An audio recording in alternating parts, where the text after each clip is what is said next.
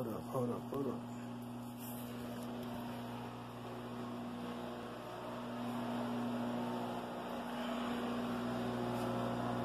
Almost done. Yes, sir. Come on, chicken and waffles. Chicken and waffles.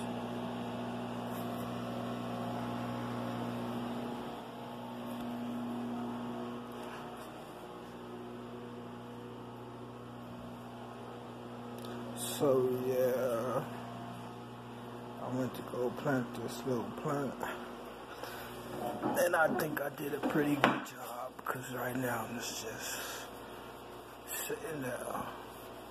Before the story begins, take a look at this.